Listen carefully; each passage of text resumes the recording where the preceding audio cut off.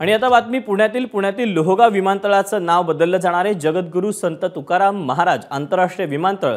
असं पुणे शहरातल्या पुण्यातल्या किंबहुना या विमानतळाचं नामकरण करण्यात येणार आहे. आजच्या मंत्रिमंडळ बैठकीत याबाबतचा निर्णय होणार आहे. दोन दिवसांपूर्वी उपमुख्यमंत्री देवेंद्र फडणवीस यांनी पुण्यात याची मोठी घोषणा केलेली होती.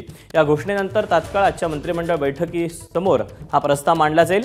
आजच्या मंत्रिमंडळ बैठकीत हा निर्णय घेऊन केंद्राकडे हा प्रस्ताव पाठवला जाईल. आगामी विधानसभा निवडणुकीच्या तोंडावर राज्य सरकारनं हा मोठा निर्णय घेतला आहे अपडेट जाणून घेऊयात. राजू सोनावणे आपल्यासोबत आहे.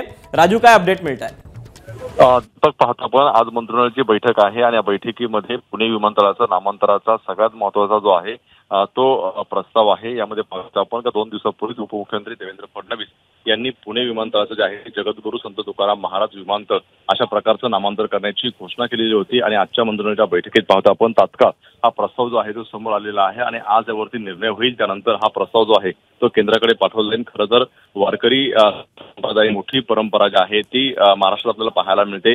संत तुकारामांना मानणारा वर्ग मोठा आहे आणि कुठेतरी आगामी विधानसभा निवडणुकीच्या तोंडावरती हा मोठा निर्णय जो आहे तो होताना पाहायला मिळतोय. त्यामुळे साहजिकच आगामी निवडणुकांच्या तोंडावरचा हा महत्त्वाचा निर्णय मानला जातोय. आज हा प्रस्तावावरती निर्णय होईल आणि त्यानंतर केंद्राकडे हा प्रस्ताव जो आहे तो पाठवला जाईल.